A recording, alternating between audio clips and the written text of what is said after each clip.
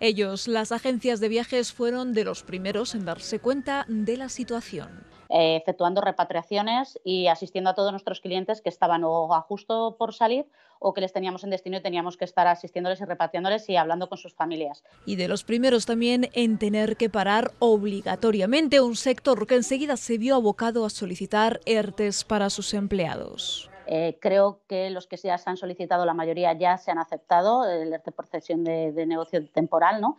Eh, por fuerza mayor, porque lógicamente somos uno de los sectores en los que eh, antes hemos empezado a parar.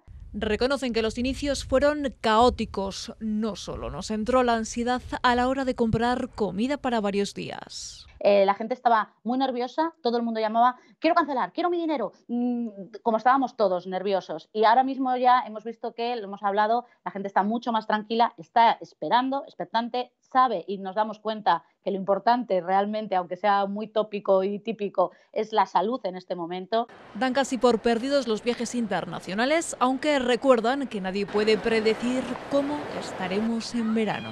Nosotros estamos haciendo mucho hincapié, de verdad, que la gente tenga mentalidad de plantearse de no cancelar sino modificar a un futuro, porque aunque no puedas viajar ahora a Turquía, a Egipto, a Canadá, a Rusia, donde sea, realmente cuando este confinamiento se levante, lógicamente se podrá empezar a viajar. Y piden por eso que haya solidaridad entre comunidades que nos sirva para descubrir nuestro país turismo nacional tenemos que apoyarnos y apoyar a todo, tanto el pequeño comercio, el hotel, pero hablo también de la tienda, del supermercado, todos eh, tenemos que ver dentro del turismo nacional y dentro de nuestro turismo de Castilla y León, poder tener una sinergia con otras eh, provincias para poder atraer turismo a, nuestras, a nuestra comunidad.